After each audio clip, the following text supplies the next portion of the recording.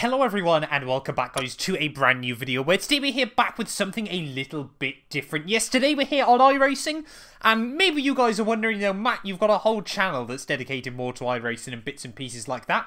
If you want to go check that out, I definitely would recommend doing so as well. Yeah, we do a lot of iRacing, uh, Formula 1 content, and some leagues and things over on my second channel. But yeah, today though, let's be fair, anyone that keeps her in sort of the iRacing loop will already be aware what we're going to be driving today. Yes, it's time for the all-new Mercedes W12. Yes, the new F1 car from this year's Mercedes team has been released on the sim. Now, normally, I test my cars at the Nordschleife, so I thought we're not going to change that up today. We are going to keep racing these things at the Nürburgring.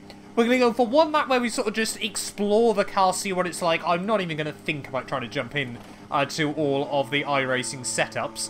And then, of course, yeah, we'll go for a second run in, you know, sort of more of an attacking lap. Now, I always like to use the Touristenfahrten uh, version of the Nürburgring, but yeah, of course, if you are new around here and you do want to enjoy, make sure you leave a like and get yourself subscribed. But yeah, when this got confirmed a few weeks back that it was going to be releasing on iRacing, yeah, there, there was a lot of hype from a lot of people, and understandably so, because iRacing do such a good job with their cars that undoubtedly this thing was going to be one quite probably for the ages. It's it's safe to say, you know, sim racing has absolutely blown up over the last few years, and to finally get, you know, sort of a modern Formula One car onto iRacing is really, really cool. Of course, we got the Dallara IR1 uh, back at the end of last year, if I remember correctly, but obviously that thing was fun, but certainly not quite the same. So yeah, over the next few weeks, we're going to be doing a lot of comparisons and things like that as well, obviously in these cars, everything like that. But yeah, of course, this thing, though, for those of you that watch Formula 1, you're already aware, obviously,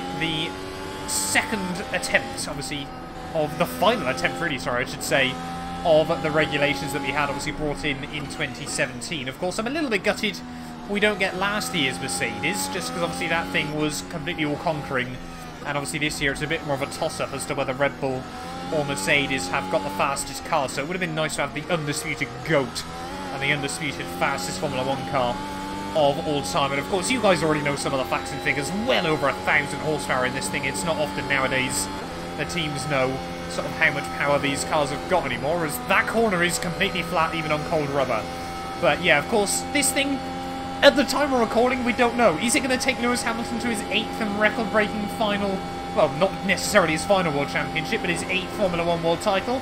Or are we going to see Max Verstappen in the Red Bull RB13B finally put a stop to it. Of course, Mercedes have been so dominant through the V6 turbo hybrid era. You know, we we're already aware. You know, seven back-to-back -back championships. It could be eight this weekend, of course, in Abu Dhabi. And yeah, iRacing couldn't get this car on the platform at a better time. But so far, yeah, it's just feeling so gripped up. I've been watching sort of a couple of other people's reviews. You know, I'm a tiny bit late to the party. You know, I think everyone was desperate to get content out in this car. But yeah, a lot of people are saying it's actually rather safe which was kind of surprising though in sort of the way it drives. And so far I'm sort of getting that vibe, you know, it's obviously a car with a huge amount of torque and things like that, and obviously something that doesn't weigh very much, so I'm certainly never going to get the maximum out of it. We might hopefully see an iRacing World Championship Series back in these cars down the line. But yeah, a lot of people are saying this thing isn't actually as difficult to drive as they were expecting. And I mean, the only real sort of comparisons we've got on iRacing are the McLaren MP4-15 no, that's like 2002, isn't it? Um, the MP431, I want to say, you know, the, the old one. I can't remember which year it was. Obviously, the 2015 Honda, and of course the Williams FW31 as well. The Williams wasn't too bad, apparently, back in the day, but the McLaren, of course, where it effectively had a very, very similar power unit to this, lack lacking a few ponies, it's safe to say. But yeah, well, obviously it was very, very similar sort of power to this, and obviously the way the power was delivered uh, in a much less sophisticated you with a lot less grip and downforce. That thing, yeah, tended to be a bit of a handful, of course. And you guys remember, if you used to play even F1 2016, the cars on there were a right handful as well. So, so rewarding when you got them right. But yeah, really, really difficult to do so here. But this thing, of course, you know, it's got all the grip, it's got all the stability, everything like that. You can see we've got the battery deployment currently on the screen as well as we head up through the back straight. Obviously, a lot of kinks through here. That completely flat as we get a tiny bit out of shape on the exit there. But of course, 8-speed gearbox as well, for those of you guys that aren't aware. Yeah, an insane amount of power, an insane amount of torque. And yeah, this thing is just going to be an absolute weapon to drive as well. Apparently iRacing are going to do a fixed series, so I'm tempted to run a season in this thing, sort of see what it's like. I'm not even going to try and put it through the carousel, I'll be honest. But yeah, we'll, we'll try to avoid that. But slowly getting up to grips with it. And yeah, I'm going to be really, really intrigued to see how it fares when we head through the S's on sort of our proper attacking lap in just a moment. I'm probably going to go onto a set of the super soft tyres. Obviously, we're only, or, yeah, effectively what used to be the super soft tyres, but what is now, of course, the soft tyres. The C1s we'll try and get onto the car as well for our uh, sort of our proper attacking lap in just a moment.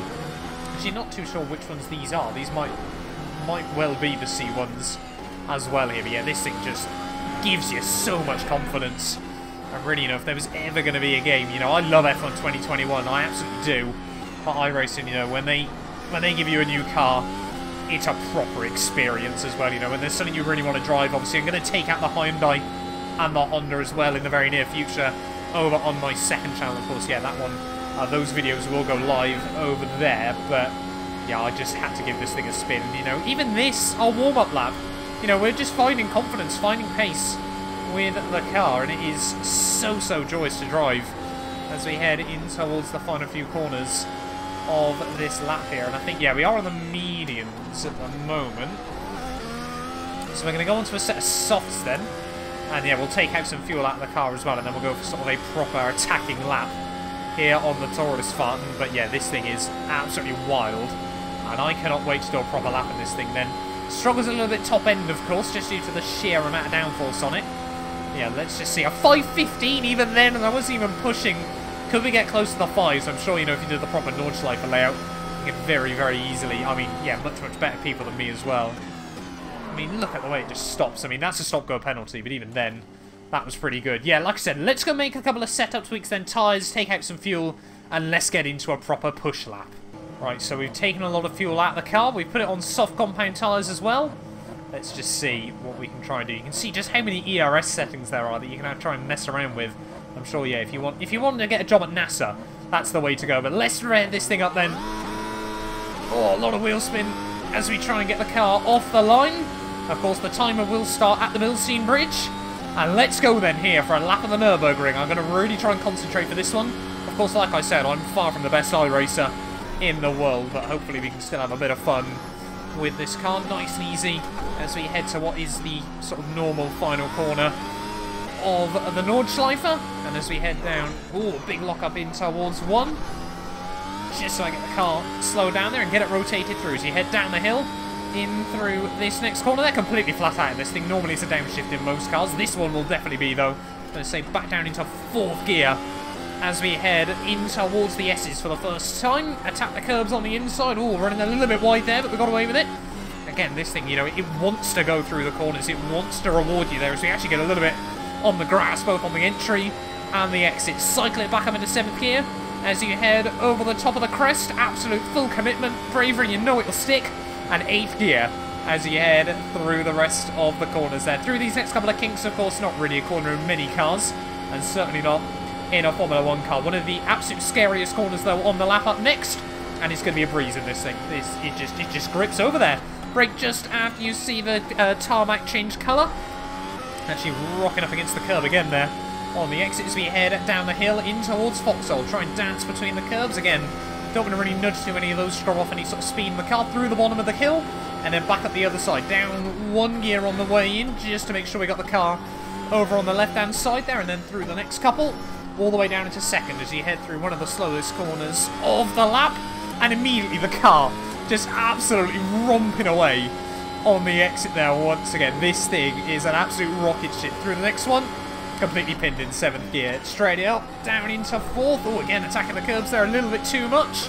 As we now head in towards hit, hit, miss. We've just got another fast chicane to navigate. Before then is again, just getting a little bit over the curbs. Of course, yeah, these things would never take on the Nürburgring in real life, or at least not in full attack mode there. Tiny lift, you can definitely take that flat as we head in towards the tight hairpin. Again, it just grips up. It just finds grip everywhere. It's insane. As we head down in towards the bridge. Oh, try and tip it in there. We got away with that. I've actually been, of course, to the Nürburgring in real life as well. So, you know, always is a joy to come back to this game as well. safe to say, yeah, this lap is going to be much, much quicker. Well, I was ever able to... Well, I never actually did it. It was my dad that did the lap of the ring. But still, yeah, this thing is wild as we head out onto the back straightaway. Already 17 seconds up. This is going to be a sub 5 very, very easily. And I'm not even that good as well. It's going to be insane to see sort of what top people can do. Of course, this isn't technically the full layout of the Nürburgring. But yeah, I mean, top guys are still running and able to push this thing way below five minutes there. It's already at the end of the flat out section. And of course, the flat out section gets even further extended in this car. Just due to the sheer nature of the downforce that was working absolutely overtime though around the Nürburgring. Third gear as you head in towards the hairpin before the carousel. Make sure again, we're probably not going to attack the carousel. Do we go for it? Let's go for it. Let's actually chuck this thing in to the carousel. They're over the bumps. It's trying to fight us off the exit there, but we get away with it. And we get the power down again. oh, this thing is so cool. iRacing, what a job you've done. It's genuinely brought a smile to my face as well there as we head through one of my least favourite corners of the lap here on iRacing. The curves just so, so aggressive through there. But now we head into really the ultimate testing ground for this car. The ultimate proving grounds there. Seventh gear as we head down the hill, down into sixth as you head through the 90 degree right there and then hold it in sixth gear as he heads towards one of the most famous corners of the lap. Hopefully we're not going to feature on a crash compilation. No, we do not. But I'm sure certainly if this was real life, there would be a lot of people standing around and watching. Fourth gear again as you head through the left in towards the right king and then back down the hill in towards what is normally a horrible little crest. This thing, though, got so much downforce. We might have been able to get through there in seventh, I'll be honest with you guys. There's now just a few more corners to go. Running a little bit wide over the curbing now. I don't think we've picked up a 1x on this lap either, if I'm not mistaken. Yeah, no, 0x so far in this session, but just a few more corners to go then. Here at the Nürburgring, it's kind of insane just how quickly this lap has gone by. Mini carousel. Oh, really chucked it in there, but the car bounces around a little bit on the exit. One more corner to go before you launch it out onto the back straightaway there and out of the final corner. That's going to be a lap of the Nürburgring. Just like that. Under five minutes from gantry to gantry there. 450.8. Holy moly. iRacing, what a car you've got on your hands. If you guys have got iRacing, I cannot stress enough you need to give this thing a go as we get back to the pit lane. Oh, oh it's certainly, it's certainly intense. Sorry, I forgot to put the pit limiter on. So unfortunately we're going to get another slowdown penalty there, but I mean, if you've got iRacing, this is quite possibly the best $12 you're ever going to spend in your life. What an experience just to take it around this track as well there, iRacing. Oh my god, they've just brought it to another level on the sim there. That was such an insane ride around the Nordschleife. But like I said, I'm going to do some comparisons uh, between, you know, this car and F1 2021 around a few other tracks as well, but yeah, it's a completely different experience at the end of the day. Can we do donuts? Of, of course we can do donuts as well to finish off there. But thank you all so much for watching this video. If you have enjoyed, do make sure you leave a like and get yourself subscribed as well. And yeah, we will definitely be back very, very soon with more Formula 1 content. Holy moly.